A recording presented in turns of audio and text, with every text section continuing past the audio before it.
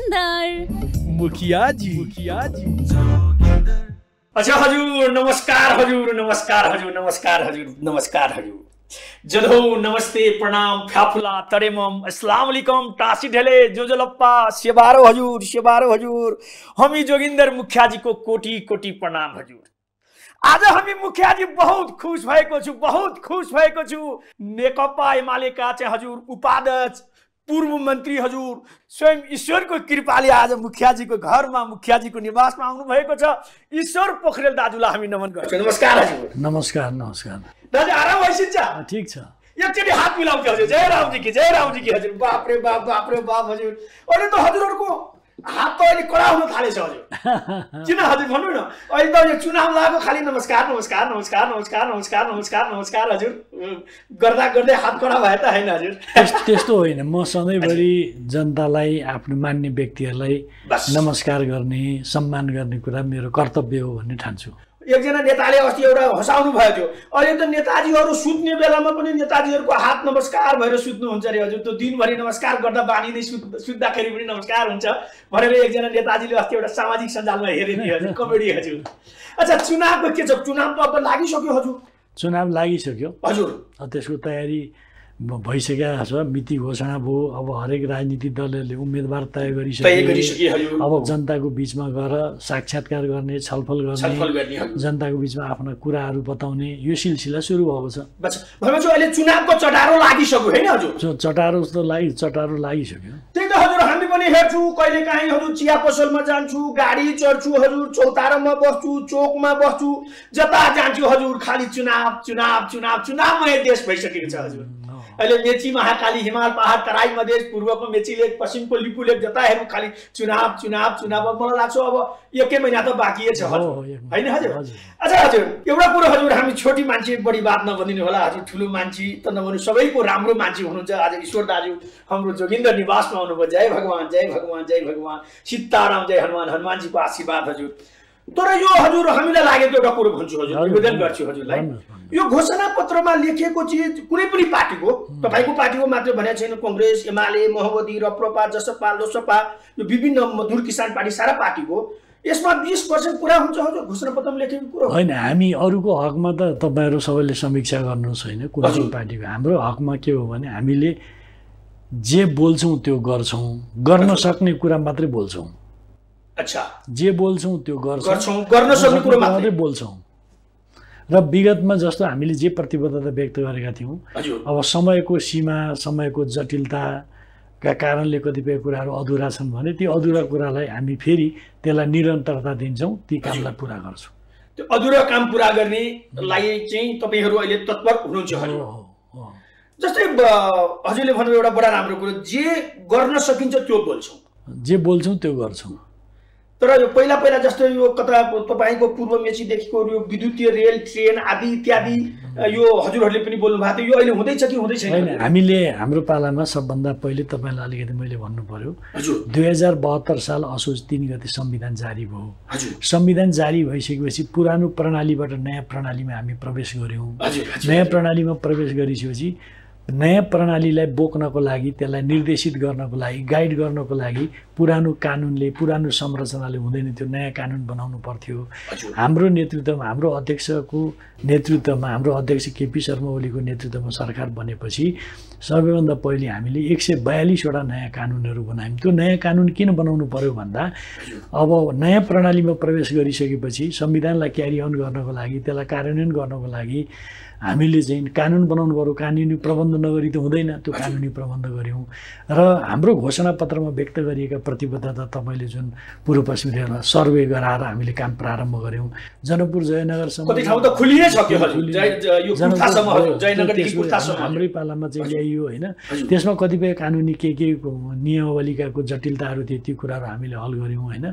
र हामीले पूर्व पश्चिम रेलमार्गको सन्दर्भमा सामान त्यसको प्रारम्भिक सर्वेको काम पनि गऱ्यौँ होइन।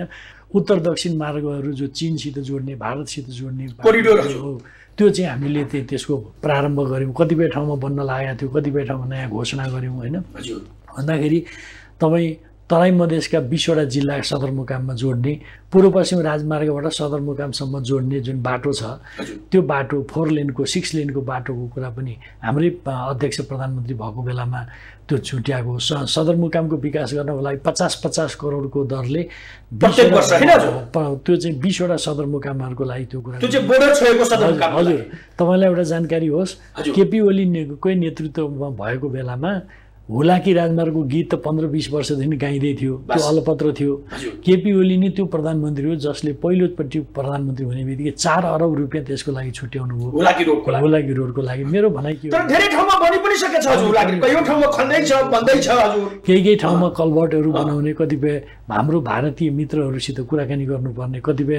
त्यहाँ लोकल जनताको समस्या नेपाल साइडमा। समस्याहरू छन्। ती कुराहरू खास गरी यो चाहिँ जुन ढलहरूसँग सम्बन्धित कलभर्टहरूसँग सम्बन्धित। अब ठुलो पानी आउँछ कलभर्ट सानो बनाइदिएर त हुँदैन। त्यही अनुसारको ठुलो बनाउनु पर्ने यस्ता कुराहरू छन्।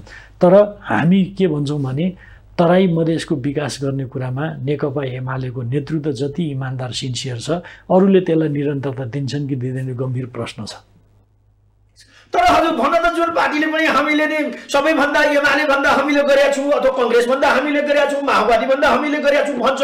हामी त जनता त बहुत दोधारमा छु हजुर अलमलमा परिरहेको छु हजुर नेताजी त्यसमा म एउटा तपाईँलाई भन्छु बुझ्नै सकिएन हजुर हामीले त हजुर। ठिकै छ। यो कुराहरू दस थरी कुरा सुन्दाखेरि त। अलमल हुन्छ? दस थरी कुरा।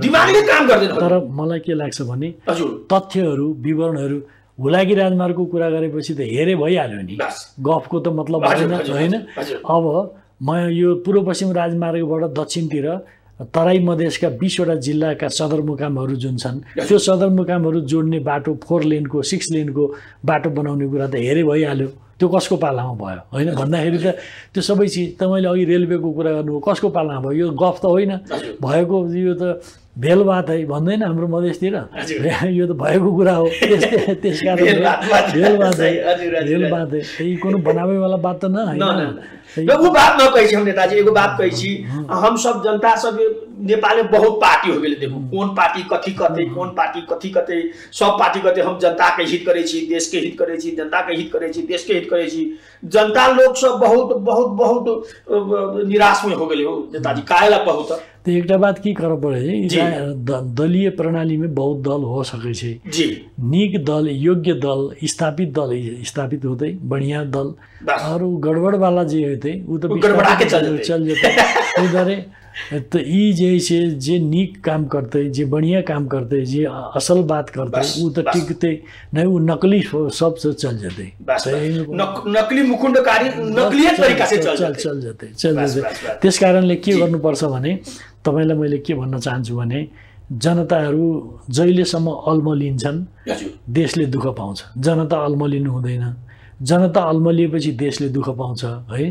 अल्मलिए के सही के गलत के ठिक के बेठिक भनेर छुट्याउनु पर्छ। त्यो छुट्याइयो भने मात्रै वास्तवमा हामी सही ठाउँमा सही निष्कर्षमा पुग्न सक्छौँ। मैले चाहिँ के तपाईँलाई आग्रह गर्छु अनुरोध गर्छु भने मान्छेहरू जनरल कुरा गोस्वारा कुरा गर्छन्। सब उहाँ है सब सब लुच्चा है सब चोर है सब फटा है। त्यसरी निष्कर्ष निकालेर हुँदैन। विश्लेषण गर्नु पर्यो हेर्नु पर्यो त्यो विश्लेषण गर्ने आधार भनेको तथ्य हो। बस प्रमाण प्रमाण हो। सबभन्दा ठुलो कुरो प्रमाण हो। बस। प्रमाणको आधारमा हेर्नु त मैले भने तराई मधेसका जिल्लाहरूको सदरमुकाम पूर्व पश्चिम राजमार्गबाट जोड्ने। Connecting road four lane six लेनको बाटो बनाउने कुरा कसको पालामा भयो हेरे त भइहाल्यो। हेरे त त्यो भइहाल्यो त धेरै ठाउँमा भएको छैन त हजुर। त्यो त एउटा लाग्छ मलाई इटरी टु विराटनगर एउटा। दोस्रोमा तपाईँको ढल्केको टु जनकपुर तेस्रोमा चाहिँ पत्लैया टु वीरगञ्ज चौथोमा हजुर बुटबल टु भैरवा पाँचौँमा हजुर कोहलपुर टु नेपालगञ्ज। छैठौँमा चाहिँ यो तपाईँको चाहिँ यो के छ यो के छु धनगढी हजुर। यति नै हो अरूसँग त जोडेको छ लेन त छैन कहीँ छ लेन कहीँ चार फोर लेनको कुरा छ। तर यो कुराको स्टार्ट भयो थालनी बस काम सुरु भयो। अब यो सुरुवात भएपछि फेरि अर्को वर्ष अर्कोबाट सुरुवात हुन्छ। त्यस कारणले यो चिजलाई बुझ्नुपर्छ मेरो तपाईँहरूले बोलेको चिज एउटा चाहिँ भएको छैन हजुर। के? प्रधानमन्त्रीजीले त्यो बेलामा धेरै चोटि बोल्नुभयो घर घरमा ग्यास। त्यो भएन। होइन यसमा यस्तो हो। तपाईँलाई भन्नुहोस्। दुःख नमागिदिनु होला हजुर जनता छु हजुर। नै नै नै ठिक छ। तपाईँहरू त हाम्रो त हजुर तपाईँ नेता हुनुहुन्छ होइन? हामीहरूको जनताको चाहिँ एउटा एक हिसाबले भन्नु सेवक हो नेता भनेको जनताको न सेवक हो देशको सेवक हो ठिक हो ठिक हो होइन तपाईँलाई मैले एउटा कुरा भनिदिन्छु हाम्रो हाम्रो अध्यक्षले प्रधानमन्त्रीले के भन्नुभएको भने यो जब ठुलो कुरै होइन यो हामीले वास्तवमा मुलुकमा राजनीति स्थायित्व भयो भने र देशमा गडबडी भएन भने वास्तवमा यो ठुलो कुरै होइन। अहिले पनि कतिपय लोकालिटीमा घर घरमा चुलो पुगेको छ कि त्यो ग्यास पुगेको छ एउटा लोकालिटीमा एउटा लोकालिटीमा व्यवस्थापन गरेर त्यो कुरा गर्न सकिएको छ होइन? टाइपमा लैजाने ठुलो कुरो होइन। त्यो उहाँले के भन्नुभयो भने मुलुकमा स्थायित्व भयो सुशासन भयो भने यो ठुलो कुरा होइन गर्न सकिन्छ। मान्छेहरू घरमा बसी बसी सिलिन्डर कहाँ कहाँ बोकेर ग्यास सिलिन्डर चेन्ज गर्न गइरहनु पर्दैन। तपाईँ भन्नु हाम्रै पालामा अम् रक्सोलदेखि अम्लेगञ्जसम्म पेट्रोलको पाइपलाइन कसको पालामा भयो त? हाम्रै पालामा भयो। होइन। हाम्रै पालामा भयो।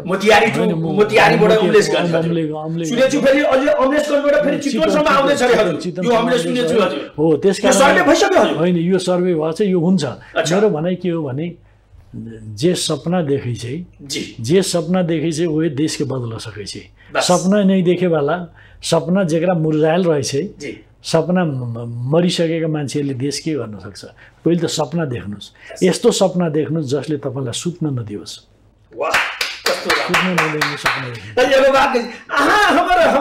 तराई के मधेश के नीक भाषा बोलै छी। अहाँ हमर तराई मधेश में बैठे रहले पहिला। हम हम तराई मधेश में भूमिगत काल में अहाँ सब भूमिगत काल में हम बच्चा शिशु प्रारम्भिक पढाइ हाम्रा मध जनकपुरैमै भेलै।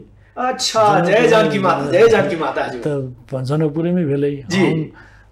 नीम के गाछ मुनि गाछ के अंदर में बोरा बिछा के बोरा बिछा के।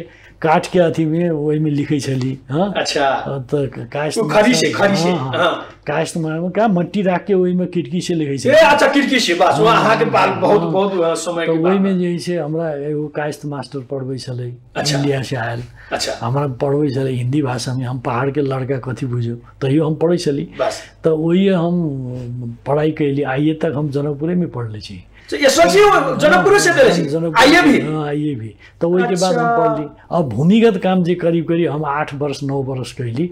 मध्य तराई के जिला में वही के जनता के साथ में हम रहल छी। ताहि दुआरे वही के अहाँ सप्तरी सिरा धनुषा महोत्तरी सरलाई रौतहट बारह परसेंट सब जगह रहले। सब जगह रहले छी।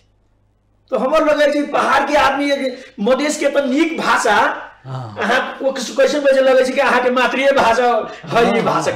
हमरा ई बुझै छी कि तराई। तराई मधेश के साथी सबसे देखै छी तऽ हमरा बड़ा प्रेम भाव पैदा जाइ छै। कैला हम जते भी बात सीखली हमरा चेतना के प्रारंभ जी। तराई मधेश के जनता मधेसी जनता के साथ में बैठ के हम सीखली। उ सब हमरा ईमान से कहू तऽ एते ईमानदार एते ईमानदार एते ईमानदार लगै छै बस, कि मत। पूछू। बस, मत पूछू एते ईमानदार लगै छै। ओते एते नीक लोग सब है न उ सब मत पूछू बस। हम उनका धरती के रक्षा करे वाला आदमी सब है सब। देश के रक्षा बस देखू तो सीमाना के रक्षा करके बैठ ली करे बहुत बहुत बहुत- बहुत राष्ट्रीयता बहुत बहुत- राष्ट्र प्रेम वाला आदमी है तराई के देश- आदमी मधेश के आदमी देशभक्ति के भाव देशभक्ति के बहुत बहुत। हाँ। जय जय जय तराई माता जय जय माता हजुर अच्छा हजुर बहुत खुश लाग्यो आज ईश्वर दाजु। अच्छा हजुर अब अहिले हजुर काठमाडौँ क्षेत्र नम्बर पाँचबाट चुनाव लडिराख्नु भएछ। होइन योभन्दा अगाडि पनि तीबाट निर्वाचित हुनुभयो। अब कति मान्छेहरूले अब हजुर त मन्त्री पनि भइसक्नुभयो उप प्रधानमन्त्री पनि भइसक्यो पार्टीको ठुलो जिम्मेवारी पनि लिइसक्नुभयो। भावी प्रधानमन्त्रीको रूपमा पनि है ईश्वर पोखरेललाई को नाम कदम यसो सुनिन्छ हजुर बजारतिर। भोलि केपी शर्मा ओलीपछि ईश्वर पोखरेल हुनुहुन्छ एमालेको भोलि सम्हाल्ने। भनेर भनिन्छ हजुर। के छ क्षेत्रको चाहिँ कस्तो छ अहिले चुनावको चाहिँ हजुर क्षेत्रको? के हो भने त्यो यो क्षेत्रमा म। जहिलेदेखि काम गरेँ मैले खास गरी लामो समयदेखि म यो ठाउँमा काम गरिरहेको छु। अच्छा। यहाँका जन यो क्षेत्रका जनतासित मेरो सामाजिक सम्बन्ध छ। हजुर। मेरो चाहिँ सुख दुःखको साथी। म मर्दाको मलामी बाँच्दाको जन्ती। त्यस हिसाबको मेरो सम्बन्ध छ। र यहाँका यो क्षेत्रका सबै जनताले मलाई चिन्छन् बुझ्छन्। मेरा राम्रा कुरा पनि थाहा छ कमजोरी पनि थाहा छ। काम चाहिँ कतिको गर्नु भएको छ हजुरले आफ्नो क्षेत्रमा? गर्नु भएको छ कि छैन? ठिक छ तपाईँले जुन भन्नुभयो। मैले यो क्षेत्रमा मेरो दुईटा भूमिका हुने भयो एउटा म प्रतिनिधि सभाको सदस्य भएपछि मैले राष्ट्रिय स्तरमा गर्नुपर्ने कामहरू हुने भए मेची होइन? महाकालीलाई पनि हेर्नु पर्यो हजुर। मेची मेची महाकाली हेर्ने त्यसमा पनि मेरो नीति निर्माण गर्ने कुरामा। विधि निर्माण गर्ने कुरामा मेरो भूमिका हुने भयो होइन? एक दोस्रो कुरो सरकारमा रहँदाखेरि नीति कार्यक्रम र बजेट व्यवस्था गर्ने कुरामा मेरो भूमिका हुने भयो एउटा यो। केन्द्रीय महत्त्वको काम होइन? म जुन मन्त्रालय लिएको छु त्यो मन्त्रालयसित सम्बन्धित कामहरू मैले हेर्नुपर्ने हुन्छ होइन? दोस्रो। पहिलो कुरा यो। दोस्रो कुरा मेरो क्षेत्र निर्वाचन क्षेत्र पूर्वाधार विकास कार्यक्रम अन्तर्गत मैले यहाँ बाटोको कुरा पूर्वाधारको कुरा यो शैक्षिक संस्थाहरूलाई व्यवस्थित गराउने कुरा मैले यी सबै काम गरेको छु जो जनतालाई थाहा छ। फिल्डमा गर्नु भएको छ कि कागजमा होइन फिल्डमा गरेर धेरै नेताजीहरूको त खालि कागजमा मात्रै देख्छु हजुर। हजुरको फिल्डमै छ फिल्ड भए ठिक छ हजुर। फिल्ड- तर हजुर सुन्दैछु अहिले त अब अब अहिले त विभिन्न गठबन्धन छ हजुर। हजुर त चार पाँचवटा दलसँग लड्दै हुनुहुन्छ अरे भन्ने सुनेछु गठबन्धनसँग के छ सहज सहज छ हजुरलाई? लोकसभ की छै? मान्छेहरूले के भन्छन् भने जी। गठबंधन के ठगबंधन कहै छै। अच्छा। ठग ठगबंधन कहै छै। लोकसभ के बात कहली हम ये कांग्रेस के गठबंधन हाँ ये कहिए- गठबंधन तो आ सबके भी है तो गठबंधन अहाँ के भी राप्रपा से गठबंधन है। कमल थापा से गठबंधन है हम बता रहल छी। छोटका छोटका पार्टी से त अहाँ सबके भी गठबंधन त है त। ए, वास्तवमा दुईटा कुरा। निर्वाचनको प्रक्रियामा गएपछि चुनावी तालमेल हुने कुरा एउटा कुरा हो। चुनावी तालमेल। चुनावी तालमेल र गठबन्धन गठबन्धन यी अलग बात। फरक छ। फरक कुरा हो। त्यस कारणले के हो भने हामीले चुनावी गठबन्धन त तपाईँलाई मैले बताउँ दुई हजार अडचालिस सालको संसदीय निर्वाचनको बेलामा पनि हामीले नेपाली काङ्ग्रेससित तालमेल गर्ने कुरा गरेका थियौँ। प्रस्ताव गर्ने मान्छे हामी। अडचालिस सालमा? अडचालिस सालमा पनि गरेका थियौँ। तर काङ्ग्रेसलाई त्यस बेला के लाग्यो भने अलिअलि त्यो दम्म थियो। काङ्ग्रेसको नेतृत्वले के भन्यो भने अरे दुई हजार पन्ध्र सालमा चुनाव लड्दा कम्युनिस्ट भाइहरूको जम्मा चार सिट आएको थियो। त्यो त्यही चार सिटवालाहरूले भन्छ हामीसित तालमेल गर्ने कसरी सम्भव हुन्छ? मजाक उडाउने काम अच्छा पछि कृष्णप्रसाद भट्टराईजी क्षेत्र नम्बर एकबाट लड्नुभयो मदन भण्डारी पाँच काठमाडौँ क्षेत्र नम्बर पाँच र एकबाट लड्नुभयो हामीले भन्यौँ त्यस बेला वास्तवमा मनमोहन अधिकारी सुनसरी क्षेत्र नम्बर एकबाट लड्नु भएको थियो। हामीले भन्यौँ रेसिप्रोकेट गरौँ। के भयो र उता मनमोहन अधिकारी लड्या ठाउँमा काङ्ग्रेसको जुनियर कोही नेता उठ्नु भएको छ उहाँ छोडिदिने। बस। कृष्णप्रसाद भट्टलाई मदन भण्डारीले छोडिदिने। त्यस बेला चाहिँ नेपाली काङ्ग्रेसको तर्फबाट दम्बपूर्ण कुरा के आयो भने काङ्ग्रेस स्वर्गमा चुनाव लडे पनि जित्छ नर्कमा चुनाव लडे पनि जित्छ। त्यसपछि दुर्भाग्य के के भयो हामी सबै देख्दैछौँ। होइन? मेरो भनाइ के हो भने चुनावी राजनीति गरिरहँदा चुनावी तालमेल हुन्छ। यो सेन्ट्रल लेभलको गठबन्धन होइन। अहिले हामीले जसपासित जुन कुरा गरेका छौँ या राप्रपासित कुरा गरेका छौँ जहाँ सम्भव हुन्छ स्थानीय आवश्यकता अनुसार तालमेल भएको छ। तालमेल नभएको ठाउँमा मित्रवत प्रतिस्पर्धा गरिन्छ। फिनिस त्यस कारण यो गठबन्धन जो गठबन्धन भनेपछि गठबन्धन हजुरहरू डराउनु भएको छैन। छैन अलिकति पनि छैन छैन स्थानीय तहको निर्वाचनमा तपाईँले एउटा कुरा हेर्नु। त्यस बेला ऊ सब गठबंधन सब की बोल बोले चले जी। बाप रे ये गठबंधन एमाले के जैसे धूल में मिला देते ये तो दीवार में चिपका देते टर्च खोजेको। परेछ त्यो भनेको थियो। तर परिणाम के भयो परिणाम त्यस बेला त पाँच दल छ दल गठबन्धन थियो त्यो गठबन्धन हुँदा हुँदै पनि सर्वाधिक लोकप्रिय मत त एमाले प्राप्त गर्यो। सर्वाधिक लोकप्रिय। हाम्रा दाबी नै निर्वाचन त्यस कारणले एमाले ल्यायो। सिटमा तलमाथि अलिकति भयो। किनभने हामीले सिटको व्यवस्थापनमा के के हामीले अलिकति कमजोरी गऱ्यौँ। त्यसको परिणाम हो। त अहिले त त्यो गठबन्धनको हाउगुजी पनि हावा फुस्किए बेलुनबाट हावा निस्किए जस्तो निस्किरहेको छ देखिरहनु भएको छ तमासा। होइन? र नेकपा एमाले मेरो भनाइ एउटा के भने उसका मुद्दामा आधारित। पोलिटिकल स्टेबिलिटी चाहिन्छ राजनीतिक स्थायित्व। राष्ट्रिय स्वाभिमानको कुरामा हामीले अलिकति पनि सौदाबाजी गर्नु हुँदैन। तेस्रो कुरा भनेको सुशासन। यो तिनवटा कुरा।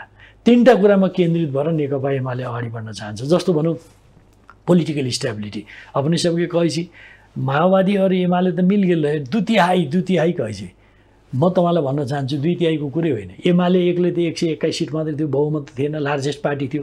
माओवादीसित हामी मिलेपछि मात्रै त्यो चाहिँ मेजोरिटी ल्याएको थियो। पछि उपेन्द्र यादव त्यसमा आउनुभयो अलिक सङ्ख्या बढो दुई तिहाईवाला त कुरै थिएन। त्यस कारणले मेरो भनाइ के हो भने हामी पोलिटिकल स्टेबिलिटी नहुने हो भने देशले आर्थिक विकास र समृद्धि पनि गर्दैन राष्ट्रिय स्वाभिमानको कुरा पनि हुँदैन। त्यसै सुशासन भयो कि यो पोलिटिकल स्टेबिलिटी पहिलो राजनीतिक स्थायित्व चाहियो। त्यो स्थायित्व चाहियो भनेको अधिनायकवाद लाद्ने भने होइन। एउटा प्रक्रिया। राजनीतिक स्थायित्वको कुरो गर्दाखेरि नेताजी एउटा तपाईँहरूबाट पनि कतै कतै यो इतिहासको कालखण्डले बढी इतिहासले त्यो व्याख्या गर्ला हजुर। पाँच वर्षको लागि त तपाईँहरूलाई जनताले दुई हजार चौहत्तर सालमा बहुत राम्रो त्यहीमा आउँदैछ। तपाईँहरू पाँच वर्ष चलाउनुहोस् हजुर। यो छ छ महिनाको सरकारले खत्तम भयो मुलुक। तपाईँहरू पाँच वर्ष चलाउनुहोस् भन्ने जनादेश दियो। नै, नै, ये- तपाईँहरू ये- तिन वर्ष नै, साढे तिन नै, वर्षमा अरे हजुर हामी होइन, चलाउन सुन, सक्दैन ये- एउटा बात- प्रतिनिधि सभा पुनस्थापितमा जानुभयो ए- ए- यो ए- बडा यो ए- के भयो हामी हम- बुझ्दैन हजुर अब हम- हजुरहरू हम- राजनीति गर्ने हम- मान्छे हम- बुझ्ने म- मान्छे हम अपने के बता दै छी जी। बात की हो। गेलै दुःख नमान्नु हजुर नहीं, हम- नहीं, नहीं, दुःख बढ़िया, नमान्नु बहुत हजुर, माफी बहुत चाहन्छु। बहुत बहुत बढ़िया बात जी। करी को बात की भेलै एमाले अकेले के तो बहुमत नहीं रहे। मा- माओवादी मिलके रहे बहुमत। जब वो एकता टूट गेलै जी। त जे बहुमत के जे जगे टूट गेलै तब तो बहुमत कहाँ रह गेलै? बहुमत त चल गेल। चल गेलै। जी। तब त ओहिमे त बहुमत तो नहीं रहि गेलै न। ताहि दुआरे फेरि के भेलै? त पुराना जे जग में जे मत प्राप्त भेलै उ त टूट गेलै। अब त नया निर्माण नया जग निर्माण कर पड़तै। नया जग में जे भर्डी कहते वही चीज के माने पड़तै से हम सब कहली। हमरा कहे के मतलब की भेलै जी। जे लोग सब कैसे बहुत दुतिहाई देने रहे बहुमत देने रहे कहाँ रहे बहुमत? एमाले के तो बहुमत नहीं आयल न। रहे। एमाले के बहुमत आयल कहीँ एक सौ एक्काइस एक सौ एक्काइस सीट रहे। एक सौ सैँतिस सिट चाहिए एक सय अडतिस अडतिस सिट चाहिए सरकार नै रहे। नै। त त्यही दुआरे के भेलै त यी त जे गठबन्धन के वाम गठबन्धन के चलते जे बनायल रहे। त उ त टूट गेलै। ओकरा जगे टूट गेलै। जग टूट गेलै त ओहिमे से निकलल चीज केना रहतै? उ त धडाक से गिर जेतै न। भऽ गेलै। त मैले के भन्न खोजेको तपाईँलाई भने हामीले बहुमत ल्याएको भन्दा पनि त्यो स्थिति थियो। त्यो स्थिति भत्किएपछि त सबै फेरि नयाँ त्यस कारणले हाम्रो अध्यक्ष केपी ओली प्रधानमन्त्री हुँदा भन्नुभयो त पुरानो जगमा उभिएको जनमत टुटेपछि फ्रेस मेन्डेटमा जानुपर्छ। यो पोलिटिकल डिसिजन थियो। फ्रेस मेन्डेटमा जाउँ जनताले जे फैसला गर्छन् त्यसलाई स्वीकार गरौँ। त अब के भयो? त त्यो गठबन्धनले त यो चाहिँ धन्दा सुरु गर्यो। अब त सबैतिर सेटिङ। हजुर। अदालतको दुर्दशा हेर्नुहोस्। पार्लिमेन्टको हालत हेर्नुहोस्। सरकारको देखिहाल्नु हो मन्त्रीजीहरूको के छ तमासा सब उठापटक हँ त यस्तो भइसकेपछि देशले के सुशासन दिन्छ भन्नु? त्यस कारणले मेरो के भनाइ हो भने हजुरको भनाइ एउटा राजनीतिको स्थायित्व एउटा सुशासन र भ्रष्टाचार मुक्त समाज। भ्रष्ट त्यही त सुशासन भने चाहिँ भ्रष्टाचार भयो। अब यसमा चाहिँ जस्तो राष्ट्रियताको कुरा। राष्ट्रियताको कुरामा के हो भन्नु होला भने छिमेकीहरू जुन चिन र भारत छन् हाम्रा पडोसी हुन् सब कुछ बदल सकते हैं पडोसी नहीं बदल सकते होइन? पडोसीलाई त बदल्न सकिँदैन। छिमेकीलाई छिमेकीलाई मुर्दाबाद मुर्दाबाद नारा लाएर पनि हुँदैन। तर म चाहिँ के भन्छु भने। त्यो छिमेकी भनेपछि पडोसी। हो, त्यो चाहिँ उसित आफ्नो पिर मार्का छ भने त आँखामा आँखा जुदाएर कुरा गर्नु पर्यो नि। छिमेकी भनेको दुःखमा पनि छिमेकी सुखमा पनि छिमेकी मलामी पनि छिमेकी जन्ती पनि छिमेकी सबै छिमेकी हो। सबै छिमेकी। बस। त्यस कारण छिमेकीसित त थिम- छिमेकीको तमिजले कुरा गर्नु पर्यो। हाम्रो एमालेको भनाइ के हो हाम्रो केपी ओलीजीको भनाइ के हो भने छिमेकीसित त आँखामा आँखा जुदाएर कुरा गर्नु पर्यो।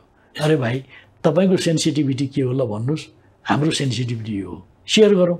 तपाईँको कुरालाई कति एड्रेस गर्न सकिन्छ हाम्रो कुरालाई कति एड्रेस गर्ने? अनि कुनै एउटा पडोसीको नाम लिएर मुर्दाबाद भन्नुको केही अर्थ छैन। केही अर्थ छैन। उसित त मिलेर बस्नु पऱ्यो मिलेर बस्नु पऱ्यो र आफ्नो कुरा भन्ने आँट पनि गर्नु पऱ्यो होइन? हाम्रो अध्यक्षले भन्नुभयो नि संसदको रोस्टममा उभिएर भन्नुभयो भारतीय मित्रहरूलाई सिंहमेव जयते कि सत्यमेव जयते? सत्यमेव जयते? हामी सत्यमेव जयतेको पक्षमा छौँ। तपाईँ मित्रहरू पनि सत्यमेव जयतेको पक्षमा उभिनुहोस्। यो त कुनै गाली गलोज त होइन। भनेपछि त त भारतको पनि के चाहिँ संवेदनशीलता छ? चिनको के संवेदनशीलता छ? अमेरिकाको के संवेदनशीलता छ? त हामीले सुन्छौँ हामीले एड्रेस गर्ने कुरा गर्छौँ उनीहरूलाई रिस्पेक्ट गर्छौँ। तर सँगसँगै हामी एउटा यस्तो सार्वभौम मुलुक हौँ त हाम्रो सेन्सिटिभिटीलाई पनि उहाँहरूले बुझ्नुपर्छ भन्ने हाम्रो आग्रह हुनु पऱ्यो त त्यसको लागि चाहिँ आँखामा आँखा मिलाएर कुरा गर्ने सामर्थ्य लुर चाहियो नि लुर। लुर लुर लुर नै होते त किन होते? आँखा में आँखा आँखा जुदाएकै हो त हाँ। त तब बातचित। तर हजुर एउटा कुरो हामीलाई एकदम बडा राम्रो लाग्यो तर हामी एउटा सानो मुलुक छ सम्पन्न मुलुक छ प्राकृतिक र संस्कृतिले भरिपूर्ण हो मुलुक छ। हो ठिक। तर यो मुलुकको बिचमा चाहिँ एउटा हिन्दुस्तान छ एउटा चाइना छ। तर चाइना र हिन्दुस्तानसँग राम्रो सम्बन्ध बनाएर नै। अगाडि बढ्दा यो मुलुकको चाहिँ एकदम हुन्छ हाम्रो विचारमा चाहिँ त्यो लाग्छ हजुर। जोगेन्द्र बाबुले बहुत सही छोटी मान्छे भने बढी बात। अच्छा अब अन्तमा हजुर आज आइदिनु भयो हामीलाई घर पवित्र बनाइदिनु भयो। फुलमतिया! फुलमतिया! है सुना त दो कप चिया बनाबो आई नेताजी आई है ईश्वर दाजू ईश्वर पोखरेल नेताजी। हम बातचीत करें दो मलाई मार के दो दो दो कप चिया अच्छा। हाँ, सुनिरहेको छु। लजाउँछ हजुर त्यही भएर के भन्ने बाहिर आउन मान्नेले लजाउँछ अब एकैचोटि भोट खसाल्ने बेलामा मात्रै हजुर भोट खसाल्न अच्छा हजुर अब भन्नुहोस् त हजुरहरू चुनाव त आइसकेका छ। हजुर त अब नामै ईश्वर हुनुहुन्छ हजुर होइन? भन्नुहोस् त हजुर हजुरहरूले लगभग लगभग यो एक सौ पैँसठी निर्वाचन क्षेत्रमा कति जित्ने लक्ष्य राख्नु भएछ हामी बहुमत ल्याउँछौँ। गठबन्धन भन्दा पनि माथि। ये बात की की बुझै छी गठबन्धन से ज्यादा चले थे अरे बाप रे, यो त ठुलो यो त ठुलो भयो। त यही हुनेवाला यही छ। सबभन्दा बहुमत सबभन्दा बढी सिट तपाईँ ल्याउनुहुन्छ। सबभन्दा बढी मात्रै होइन बहुमत ल्याउँछौँ हामी। सरकार चलाउने बहुमत। बस सरकार चलाउने बहुमत। आइरे बा कि? त्यो त हामीले पत्तै आएन छैन हजुर। यत्रो पार्टी छ हजुर यत्रो पार्टीहरू मिलेको छ तपाईँहरू बहुमत भन्नुहुन्छ एक सय अडतिस सिट हजुर। त्यो बि- हेर हेर्दै जानु यो त चाहिँ चुनावको परिणाम हेर्नुहोस् हामी बहुमत ल्याउँछौँ। भनेपछि अब यो मङ्सिर चार पछिको कसको सरकार भन्छ ल हजुर? हाम्रो एमाले एमालेको नेतृत्वमा भन्छ। ग्यारेन्टी हजुर। गारंटी आगे हम लड्डू खियाबे वही समय में। एगो बात कहू गारंटी हो तो मुंशी चार से एमआलए के सरकार हाँ होबे करते होइन प्रधानमंत्री कौन होने कहू तो तो प्रधानमंत्री तो केपी ओली जी हेते हमरा सबके घोषणा कैने छी हम सब। चार हाँ। चार के केपी ओली होते। अपने सबके एकटा बात कह चाहे छी। जी। अब जनता जनताले के फैसला गर्नुपर्ने छ भने राजनीति स्थायित्व कि राजनीति अस्थिरता। रा आर्थिक विकास र समृद्धि वा देशको बर्बादी। राष्ट्रिय स्वाभिमान र स्वतन्त्रता वा गुलामी। सामाजिक सद्भाव जो देशको हार्मोनी जी, वा समाजमा विद्वेष। देश बनाउने सपनाहरूको जग जागरण वा देश बनाउने सपनाहरूलाई मूर्छित बनाउने। बस यी दुईवटा चिजको फैसला एमालेलाई जिताउनु भनेको यो एमालेलाई जिताउनु भनेको राजनीति स्थायित्वको लागि। तर हजुर हजुरले त एमाले जित्छ जित्छ भन्नुभयो तर एमालेको पनि कता कति हजुर मैले गडबड गुबड देखाएको छु। आफ्नै पार्टीहरू कोही रोइरहेकन जानुभयो कोहीले छोड्नुभयो पार्टी कसैले पत्रकार सम्मेलन गरिराख्नु भएको छ कतिले चित दुखाउनु भएको छ यस्तो अवस्था चाहिँ कसरी सिर्जना भयो हजुर? त्यही त अब के हुन्छ भने नि। तपाईँहरू ईश्वर हुनुहुन्छ विष्णु हुनुहुन्छ महेश हुनुहुन्छ यस्तो राम्रो पार्टीमा हजुर भगवानै भगवान भएको पार्टीमा कोही मान्छे रोएर निस्किने हजुर। कोही मान्छेले चाहिँ हजुर सरापेर निस्किने कोही मान्छेले चाहिँ किन यस्तो अवस्था किन आयो हजुर? एकटा बात अपने के कहै छी जी। घर नाम के एगो संस्था होइ छै ने। बस। घर में की होइ छै घरवाला घरवाली माई के बा, बाप माने के पर्चे बाबू के बाप माने के पर्चे के भैया के बाप माने के पर्चे दीदी के बहन के सब सबके सब घर परिवार। हमरा की हमरा अपने के की कह चाहै छी? जब घर नाम के एगो संस्था चलाबे लेल कते चीज पर ध्यान दिए पड़ै छै। बस त पार्टी जे छै स्वर्ग से स्वर्ग में त नहीं बनै छै। जी। आसमान में नहीं बनै छै जमीने में बनै छै। जमीने में बनै छै। ई समाजे में बनै छै। त समाज में त नीक खराब सब बात है। त यी एगो विधिद्वारा नीतिद्वारा निर्देशित होते त पार्टी चलतै। नहीं तो नहीं चलते। अब कोई आदमी मान लो जी। पार्टी में चित्त बुझ्दै या नबुझ्दै पार्टीमा चित्त बुझोस् कि नबुझोस् केही छैन। तर पार्टीको लिडरसिपको कुरा मानिएन भने त दुइटै मात्रै अप्सन हुन्छ। या त। लिडरसिपको कुरा मान या बाहिर हुने योभन्दा अर्को त स्थिति आउँदैन। हर ठाउँमा यही हो दुनियाँको हरेक देशमा मान्नै पर्छ। तपाईँलाई चित्त बुझेन भने बेलामा समयमा त्यो कुराको हिसाब किताब फर्स्याउनु होला। होइन भने त मान्नु त पर्यो। अब जो नमानेपछि त प्रब्लम त हुन्छ। तर तपाईँलाई के बुझ्नुहोस् भने एमालेको नाममा जो दगाबाजी जहाँबाट जहाँ जहाँबाट भएको छ अहिले मैले के भनिरहनु बुझिहाल्नु हो तपाईँहरूले। दगाबाजी गर्नेवाला साथीहरूको भविष्य चाहिँ उज्यालो हुँदैन। देख्नुहुन्छ। होइन उज्यालो हुँदैन। उज्यालो नभएपछि त अँध्यारो हजुर अच्छा हजुर दाजु आज हाम्रो यो निवासमा यो जनजनको निवासमा आएर चुनावी बारेमा धेरै हजुरसँग हामीले बातचित गर्ने मौका पाए हजुर बहुत खुस लागेको छ धन्यवाद थ्याङ्क यू हजुर नमस्कार हजुर नमस्कार हजुर नमस्कार हजुर नमस्कार हजुर नमस्कार हजुर